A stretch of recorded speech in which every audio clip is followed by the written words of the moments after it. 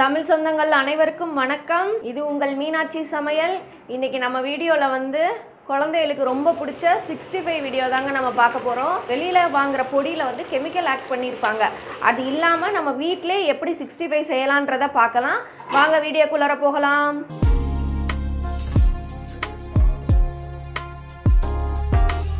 Sixty ஃபைவ்க்கு வந்து ஒரு முக்கால் கிலோ சிக்கன் எடுத்து வச்சுருக்கோம்.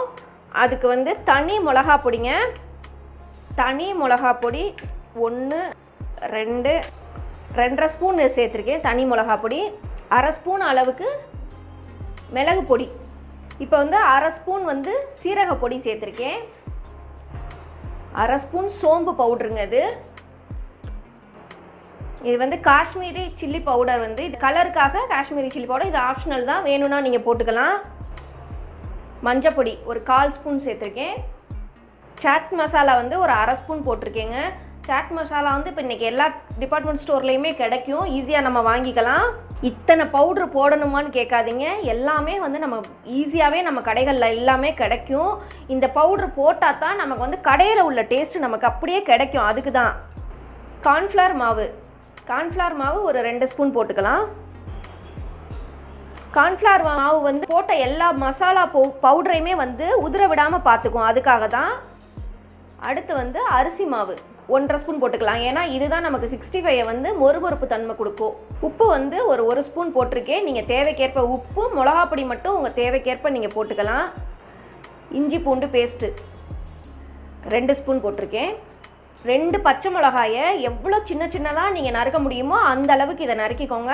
இது இன்னும் நமக்கு வந்து டேஸ்ட் கொடுக்கும். அதுக்காக தான் கருவேப்பிலை. கருவேப்பிலையுமே வந்து பொடிசாக வந்து நம்ம சிசர் வச்சு கூட நீங்கள் கட் பண்ணுங்கள் சிசர் வச்சு கட் பண்ண ஒரு அஞ்சாறு கருவேப்பிலையை சேர்த்து வச்சு சிசர் வச்சு கட் பண்ணிங்கன்னா இந்த மாதிரி இருக்கும். இதையும் இதில் சேர்த்துக்கலாம். சிக்ஸ்டி ஃபைவ் வந்து இன்னும் நல்லா ஸ்மெல்லு டேஸ்ட்டு சூப்பராக இருக்கும். அதுக்காக தான் இது வந்து உர ஊற்றின தயிருங்க. கெட்டியாக தயிர் வந்து ஒன்று ரெண்டு ஸ்பூன் சேர்த்துக்கோங்க. அவ்வளோதான் நம்ம கலக்க வேண்டியது. இப்போ எல்லா பொருளுமே நம்ம சேர்த்தாச்சு. இப்போ இது எல்லாத்தையுமே வந்து நம்ம கலந்துருவோங்க.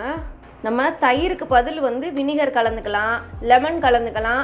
இந்த தயிர் லெமன்லாம் வந்து சிக்கனை வந்து சாஃப்டாக்கி கொடுக்கறதுக்கு தான் நம்ம கலக்கிறோம். அதனால் நம்ம எது வேணாலும் இதில் கலந்துக்கலாம்.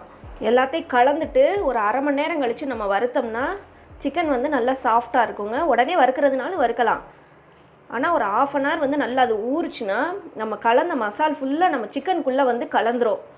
அதுக்கப்புறம் வறுத்தோம்னா நல்லாயிருக்கும். இப்போ நல்லா அந்த அளவுக்கு நம்ம கிளறியாச்சுங்க. ஒரு ஆஃப் அன் ஹவர் இது ஊறட்டும். ஊறின பிறகு நம்ம வறுத்துடலாம். இப்போ சிக்ஸ்டி ஃபைவ் வந்து நம்ம வறுத்துடலாங்க. இப்போ பாத்திரத்தில் வந்து சன்ஃப்ளவர் ஆயில் ஊற்றிக்கிறேன் இப்போ எண்ணெய் காஞ்சிருச்சு.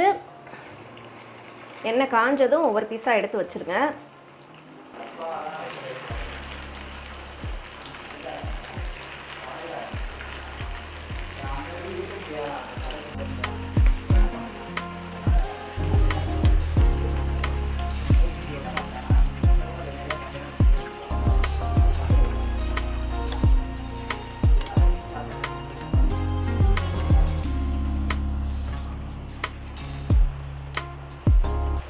அடுப்பை வந்து கொஞ்சம் ஹை ஃப்ளேம்லேயே வச்சுக்கோங்க. அப்போ தான் வந்து டக்குன்னு இது வந்து முருகும். ரொம்ப நேரம் சிக்கனை நம்ம வறுத்தோம்னா சிக்கன் வந்து ரொம்ப ஹார்ட் ஆயிரும். அதனால் கொஞ்சம் ஹை ஃப்ளேம்லேயே வச்சுக்கோங்க. நல்லா ஒரு பக்கம் நல்லா செவந்துருச்சுங்க. செவந்ததுமே நம்ம திருப்பி போட்டுக்கலாம். ஒரு ரெண்டு நிமிஷம் அந்த சைடு நமக்கு வெந்திருக்கு. இன்னொரு பக்கத்துக்கு ஒரு ரெண்டு நிமிஷம் வெந்தால் போதும்.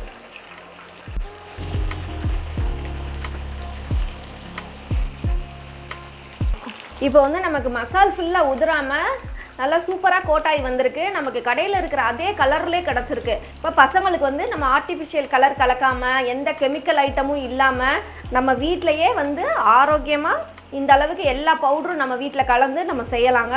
கடையில் இருக்கிற அதே டேஸ்ட்டில் கிடைக்கும். இப்போ நமக்கு இது வறுத்தது போதும். எடுத்துடலாம் நம்ம. நல்லா எண்ணெயை வடிச்சிட்டு எடுங்க. மசாலா உதிராமல் அந்த சிக்கனில் எந்த அளவுக்கு கோட்டாயிருக்குன்னு பாருங்கள் சூப்பரான சிக்கன் சிக்ஸ்டி ஃபைவ் வந்து நமக்கு ரெடி ஆயிருச்சுங்க. எல்லாரும் செஞ்சு பார்த்துட்டு எப்படி இருந்துச்சுன்றத கமெண்ட்ல சொல்லுங்க.